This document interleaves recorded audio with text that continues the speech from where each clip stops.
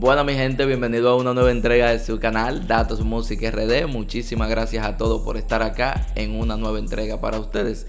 En el día de hoy le vamos a hablar de lo que está trending. Lápiz Consciente, Daddy Yankee, pero nosotros vamos a salir de lo que es la farándula y vamos a dar datos específicos de la música y de lo que era la carrera de Lápiz en el año 2007-2008 y el gran impacto que esto causó dentro del movimiento de música urbana a nivel general. Miren, el año 2007 fue súper fundamental dentro de la carrera de Lápiz Consciente como ustedes vieron en la entrevista que hizo Daddy Yankee con Santiago Matías, habla abiertamente de que él llega acá a la República Dominicana por lo que estaba sucediendo con la música de la mano de lápiz consciente. Que Daddy Yankee llegue acá a República Dominicana interesado por el talento de lápiz consciente y conocer parte de lo que aquí se estaba haciendo, eso quiere dejar claro que no solo acá en República Dominicana, sino a nivel de Puerto Rico y otros países ya el género urbano se estaba abriendo gran paso dentro de la música. Cuando Daddy Yankee llega aquí, canta con lápiz en esas famosas patronales de Bani.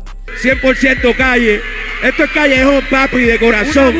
Daddy Yankee, el jefe. Tú lo sabes, tú lo sabes. Because we ready. Lápiz, let them know, bro.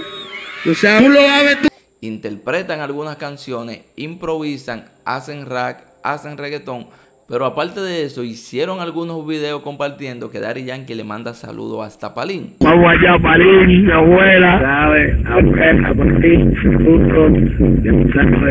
bendiciones y Recordándole a todos de que esto es en los inicios del género. Daddy Yankee no estaba convertido en el fenómeno que se conoce hoy en día, pero era un artista de gran relevancia dentro de su género, cabe destacar y sobre la supuesta colaboración de Daddy Yankee y Lápiz Consciente y si lo iba a filmar o no, recordamos que aunque esta fuese la intención de Daddy Yankee al momento de llegar, nosotros suponiendo de que fue así, no podía porque Lápiz Consciente estaba trabajando con Tad Dollar Entertainment y Daddy Yankee tenía muy buena relación con Todd Dollar, entonces no podía filmar a Lápiz Consciente. Y sobre la supuesta colaboración, eso es algo que en algún momento Vivi de Todd Dollar lo va a aclarar o lo va a decir pero nosotros recordamos que Lápiz hasta se curó con eso en la canción Carta de Dios, donde Lápiz dice: una canción con Daddy Yankee.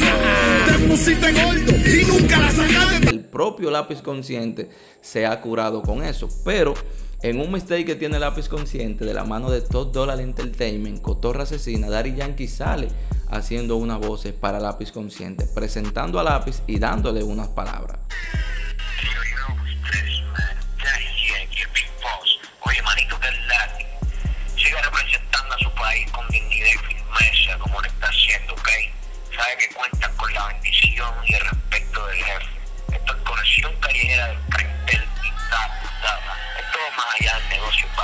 Son palabras que la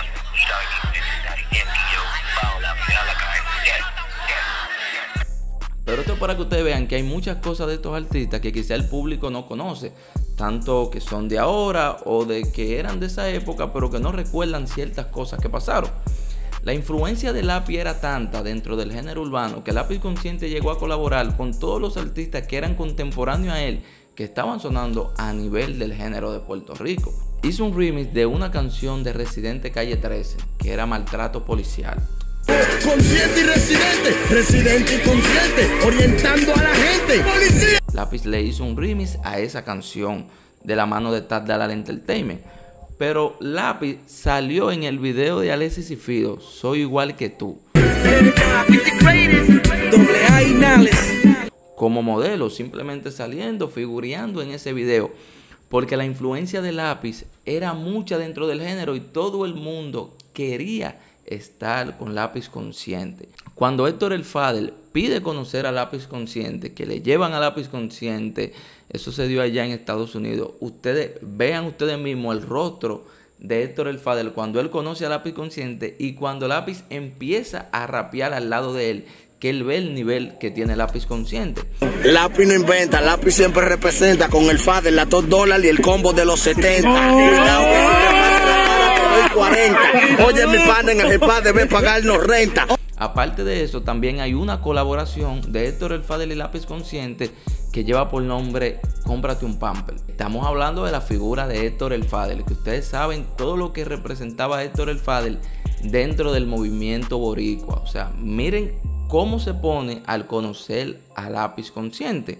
Lápiz también grabó con Julio Voltio, salen varias canciones con Julio Voltio, tienen una, ellos dos solos, y salen en, otra que se llama Si Muero Mañana, que también en esa canción salen Alexis y Fido y otros artistas del género boricua. Recordamos la gran tiradera de Lápiz con Arcángel. Ustedes saben la popularidad que tenía Arcángel y viene acá a tirarle a lápiz consciente, pero era que la popularidad de lápiz consciente era mucha y una popularidad de peso porque subió en calidad de fenómeno y con una fanaticada fiel. Aquí a República Dominicana llegaron todos los artistas que en ese momento estaban trendy. Hay una canción también de Lápiz con De La Ghetto que se llama La Jipeta, que no llegó a grabarse de manera oficial, pero hay muchos videos de Lápiz de la Gueto que salen cantando, improvisando, que sale el difunto Monkey Black.